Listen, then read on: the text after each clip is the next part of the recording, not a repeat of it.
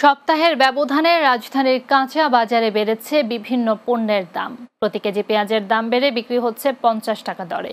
আলুর দরও কিছুটা বাড়তি। গত সপ্তাহের তুলনায় প্রায় প্রতিটি সবজির দাম তুলনামূলক বেড়েছে। এছাড়া কাঁচা মরিচের দাম আবারও ঊর্ধ্বমুখী।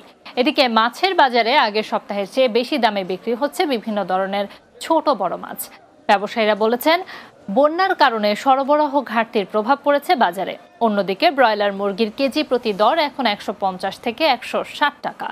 আর নিত্যপণ্যের বাজারে সয়াবিন তেল ডাল ডিম এবং চিনি সহ বিভিন্ন ধরনের মশলার দাম গত সপ্তাহের মতোই আছে।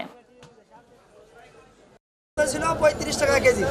এই সপ্তাহে আপনার হয়েছে পঞ্চাশ টাকা কেজি। পার কেজিতে পনেরো টাকা বেশি গেল সপ্তাহ ছাড়া।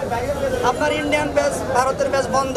আপনার গেছের সপ্তাহ শুক্রবার থেকে এই সপ্তাহ শুক্রবার পর্যন্ত কোনো কিছুর দামি বাড়েও নাই কমেও নাই। যেরকম দামি ছিল ওরকম দামি আছে।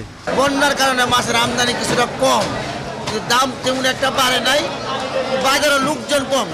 সবজি দাম একটু এখন বাড়তে তারপর গ্যাসের সপ্তাহে ব্যবসা আর কি আমাদের কোনো উন্নতি নেই ব্যবসা আস্তে দিন অবনতির দিকে যাচ্ছে এখন উন্নতি নেই। দাম বাড়তে আছে কিন্তু কাস্টমার খুবই কম এখন।